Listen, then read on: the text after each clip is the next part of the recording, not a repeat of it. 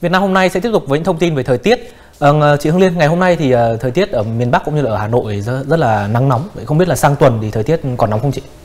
Vâng Quốc Anh, theo dự báo thì nắng nóng ở miền Bắc sẽ còn ờ, duy trì sang cả 3 ngày đầu tuần tới.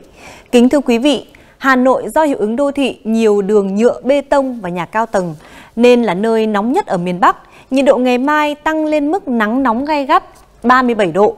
Các thành phố khác gồm Ninh Bình, Hải Dương, Việt Trì, Lạng Sơn, Hà Giang, Lào Cai, Yên Bái, Hòa Bình sẽ là 35, 36 độ. Trời ít mây, nắng gắt ngay từ sáng khiến chỉ số tia cực tím hay còn gọi là tia UV cũng lên mức rất cao.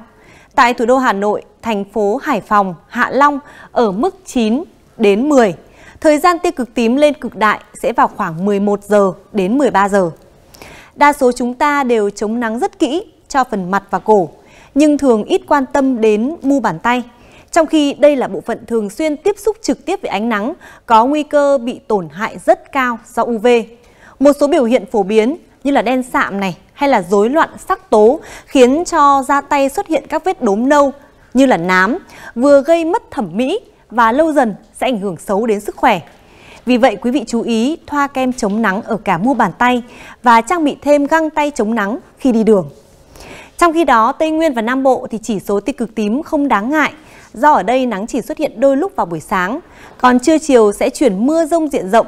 Trong đó thì các điểm mưa to trên 50 mm tương ứng với vùng màu xanh lá xuất hiện nhiều ở Tây Nguyên và miền Đông Nam Bộ. Nguy cơ ngập úng cục bộ, lốc xét và gió giật mạnh.